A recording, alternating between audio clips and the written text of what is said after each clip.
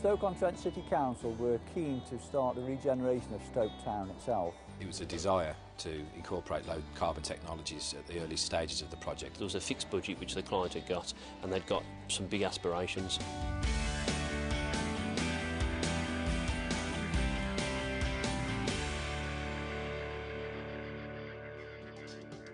The design remit was to provide an iconic building to the centre of Stoke that redeveloped the area, uh, redeveloped the existing Victorian square with the clock tower and, and fish market buildings. And we thought it was important to respect those buildings and the quality of that architecture by making a simplistic building that fitted within and around the existing buildings. The building brought together all of the council's services in one single story site right in the heart of Stoke. The interior needed five distinct areas an open plan and services delivery area, a library, training and conference facilities, and an administration area.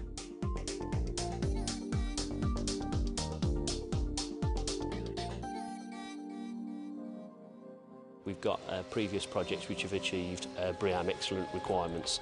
Um, this one was a particular challenge because it was a, a refurbishment building. We'd utilised individual technologies before, but the particular challenge on this project was getting all those together into a confined space. As part of the low carbon design, the team utilised the flat roof for energy efficiency and renewable technologies, wind towers for natural ventilation, sun tubes for natural light, solar thermal panels for hot water, photovoltaic panels to generate electricity, rainwater harvesting, and ground source heat pumps. 16 boreholes were drilled to a depth of 90 metres, which would link to three ground source heat pump units in a closed loop system. These provide underfloor heating to the building. After they completed the 16th borehole and they were doing the testing, they discovered that one of the boreholes was blocked. So then they had to bring all the equipment back and re-drill another borehole adjacent. But because it was in the external works and not within the building, it didn't delay overall completion. We felt it was important to locate the plant room for the ground source heat pump in the heart of the scheme and where better place to incorporate it within, than within the historic clock tower, um, being the sort of heart and the workings of the building. The building relies on passive design to reduce the amount of energy needed for heating and lighting. The large glass frontage is south facing to benefit from natural daylight throughout the year. And deep overhangs provide shading from sun in summer to prevent overheating.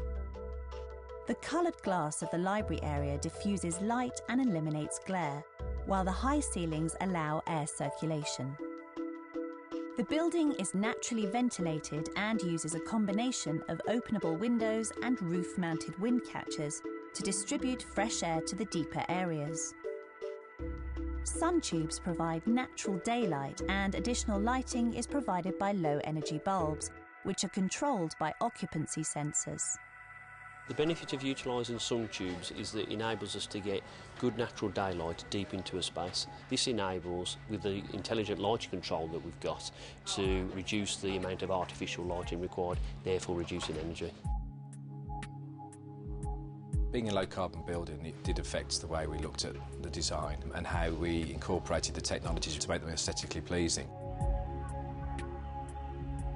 The Lightwell is a, a great uh, example of design development.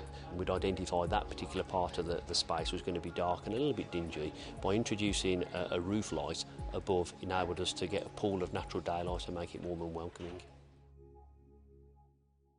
It's anticipated that over 12 months we should make considerable savings in our electricity bills. The BREEAM Excellent Award enables us to demonstrate to our clients that we can integrate sustainability throughout all our projects. Significant savings are expected. As built, the building's carbon emissions are predicted to be 51% better than the standard required by current building regulations.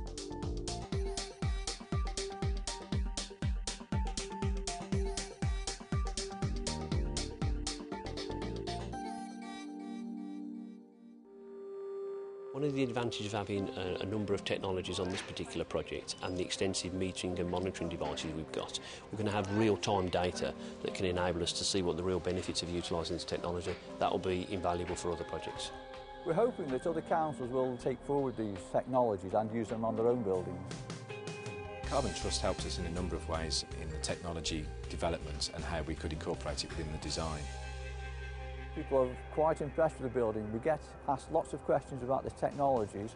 Can we come and see the photovoltaic panels? Can we see the solar thermal panels? We've got a sedum roof. I've been up and had a look at it and there were lots of bees when I went up and looked. It's nice, yeah. New, Looks brand pretty new. cool. Yeah, it is, yeah. This has got sort of a wonderful openness to it and sort of the light levels are really nice. The design is superb. I absolutely love it. I think it's a wonderful building. Wish my house was like it. I've really enjoyed working on the project. I think it's proved to be very interesting and, and a good learning curve. It did work, it was very much a team effort um, and it was on budget as well.